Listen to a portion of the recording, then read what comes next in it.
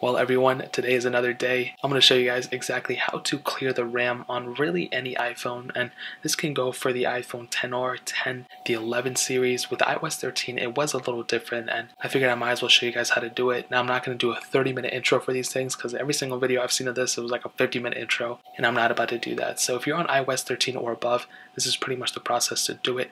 What you want to do is first of all, you want to go into your settings app, you want to scroll all the way down until you see accessibility, which is right there. Want to scroll all the way down until you see accessibility shortcut, and you just want to make sure that assistive touch thing right there is enabled.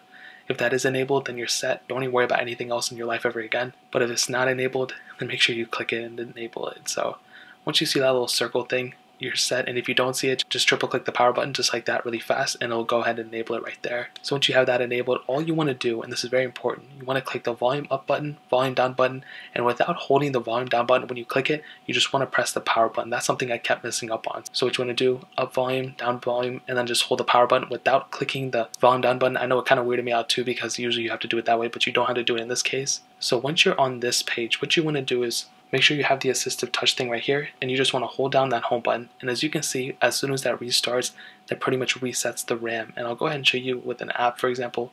This app as you can see it's taking quite a long time to load the app store. This is because all those apps in the background that you saved up even if they're cleared out it doesn't necessarily take out the information once you close out of it. It does take a while. And as you can see I'm on airplane mode so it's never going to load up. But if I open Spotify or some app like this as you can see it's already open it's in the background. If I do the same thing while I'm up volume down, power button. Okay, I'm in it. Assistive touch, home button.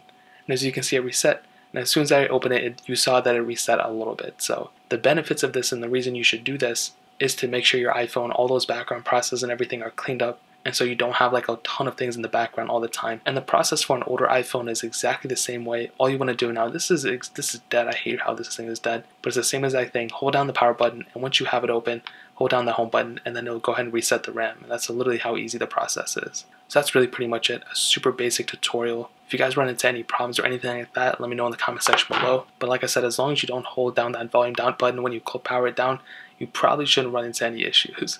Hit that like button if this video helped you out definitely hit that subscribe button. Every single subscriber that we get really does count, so it means so much if you guys could hit that. Also, check out the other links down in the description as well. My Twitter, my Instagram, my second channel. All those links are linked down below. I'd really appreciate if you guys would check it out. More importantly than everything else, I love every single one of you guys. Hopefully I'll catch you guys in the next video. Peace out then.